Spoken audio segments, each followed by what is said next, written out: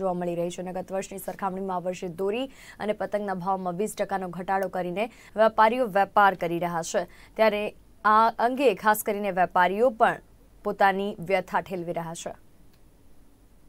ગુજરાતમાં ઉત્તરાયણના તહેવારની ઉજવણી ખૂબ જ ઉત્સાહથી કરવામાં આવે છે અને ઉત્તરાયણનો તહેવાર આપણા ગુજરાતમાં પતંગ અને દોરી વગર અધૂરું કહેવાય છે. અને પતંગ અને દોરીનું સૌથી વધુ વેચાણ ઉત્તરાયણ પણ થતું હોય છે. પરંતુ આ વર્ષની વાત કરવામાં આવે તો આ વર્ષે પતંગ બજારમાં જોરદાર મંદી જોવા મળી રહી છે. ઉત્તરાયણના તહેવારને હવે ગણતરીના દિવસો બાકી હોવા છતાં બજારમાં પતંગ અને દોરીની ખરીદીમાં મંદી જોવા મળી રહી છે. પતંગ બજારમાં સર્જાયેલી મંદીને પગલે વેપારીઓએ પતંગ અને દોરીના ભાવો ગત વર્ષની સરખામણીમાં વીસ ટકા જેટલા ઘટાડી દીધા હોવા છતાં બજારમાં મંદી જોવા મળી રહી હોવાનું વેપારીઓ જણાવી રહ્યા છે. ગઈ સાલ કરતાં આ સાલ ગ્રાહકીમાં પચીસથી ત્રીસ ટકા ડિફરન્સ છે. ગઈ સાલ અમે ત્રિવેણી સાડા પાંચસો, છસો રૂપિયા વેચ્યા છે. આ ફેર અમે સાડા ત્રણસો મારે વેચવા વાળો છે. બેસ્ટ ત્રિવેણી.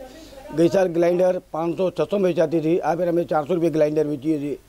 ગઈ સાલ બે હજાર અફજલ લોકો સાતસો સાડા સાત વેચતા હતા. અમારે આ ફેરે ચારસો સાડા ચારસો પાંચસો વેચવાનો વાળો આવ્યો છે. ઓ, એ બી ઓરિજિનલ અફજલ બજારવાળા ડુપ્લિકેટ વેચે છે. તો ઓરિજિનલ મારે ચારસો સાડા ચારસો વેચે છે. એટલે પચીસથી ત્રીસ ટકા મંદીનો માહોલ છે. ખંભાતી ત્રિવેણી ગઈ સાલ છસોમાં વેચાતી હતી. આ ફેરે પાંચસો વેચવી પડી હતી.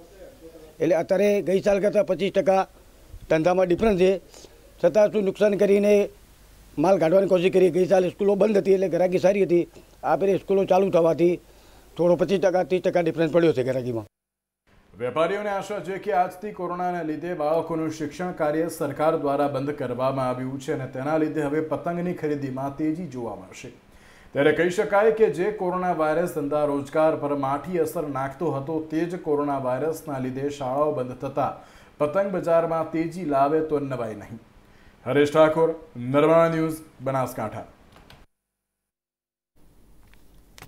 તો કોરોનાને લઈને આરોગ્ય મંત્રી ઋષિકેશ પટેલની વીડિયો કોન્ફરન્સિંગ કરી હતી. તેમણે તેમની સાથે રાજ્યકક્ષાના આરોગ્ય મંત્રી નિમિષાબેન સુથાર પણ ઉપસ્થિત રહ્યા. આરોગ્ય મંત્રીએ વીડિયો કોન્ફરન્સના માધ્યમથી જણાવ્યું કે વડાપ્રધાને કોરોના મહામારીને લઈને વિવિધ પગલાઓ વિશે મહત્વના નિર્ણય લીધા છે. વધુમાં તેમણે જણાવ્યું કે પીએમ દ્વારા કોરોનાના કારણે જીવહાનિ ના થાય તથા આર્થિક હાનિ પણ ના થાય તેની તકેદારી લેવાઈ છે અને તે દિશામાં પગલાં લેવામાં આવ્યા છે.